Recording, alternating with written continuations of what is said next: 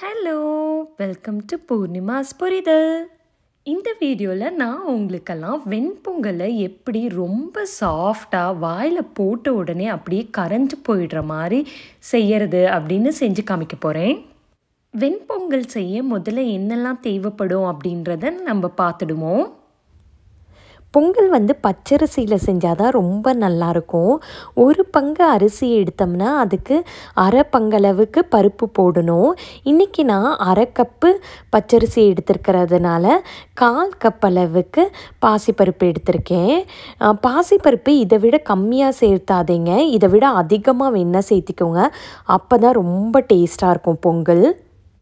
பத்துலேருந்து பதினஞ்சு வரைக்கும் முந்திரி பருப்பு எடுத்துக்கலாம். காரத்துக்காக நான் வந்து மிளகு மட்டும்தான் எடுத்திருக்கேன். பச்சை மிளகாய் எடுக்கலை. ஒரு டீஸ்பூன் மிளகு எடுத்திருக்கேன். சீரகம் வந்து ஒரு டீஸ்பூன் எடுத்திருக்கேன்.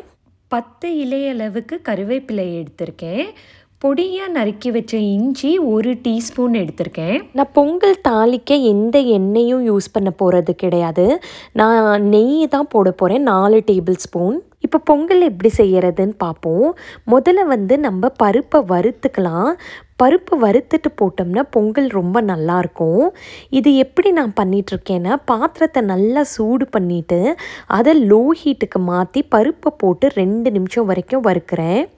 கலர் எல்லாம் மாற வேண்டாம். கையில் தொட்டு பார்த்தோம்னா நல்லா சூடாக தெரியணும் அவ்வளோதான் கலர் மாறக்கூடாது. அடுத்தது பருப்பையும் அரிசியும் நல்லா கழுவிடலாம். மூணு தடவையாவது தண்ணி ஊற்றி இந்த மாதிரி கை விட்டு கலந்து விட்டு கலந்து விட்டு கழுவி எடுத்ததுக்கப்புறமா சுத்தமான தண்ணியை ஊற்றி ஒரு மணி நேரம் ஊற வைக்கலாம். உங்களுக்கு ஒரு மணி நேரம் டைம் இல்லைன்னா நீங்கள் வெது வெதுன்னு சூடாக இருக்கிற தண்ணியில் இருபது நிமிஷம் ஊற வச்சுக்கோங்க.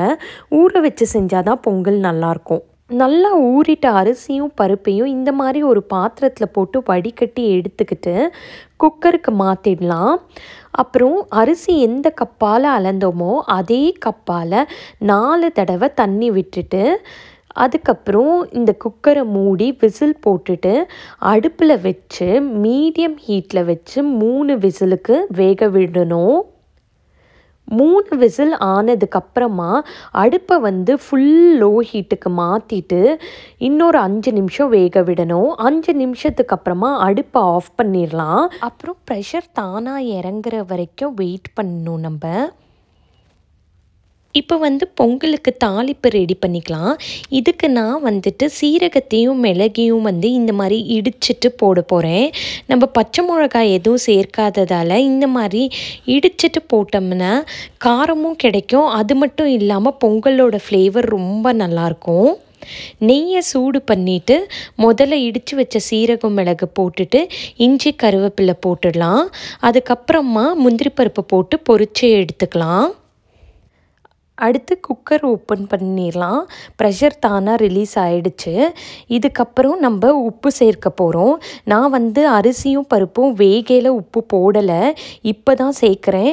ஏன்னா நம்ம உப்பு வச்சோம்னா சில நேரம் பருப்பு சரியாகவே வேகாது. அதனால தான் இப்போ தாளிப்பப்பு இதில் கொட்டிட்டு நல்லா கலந்து விட்டுடலாம்.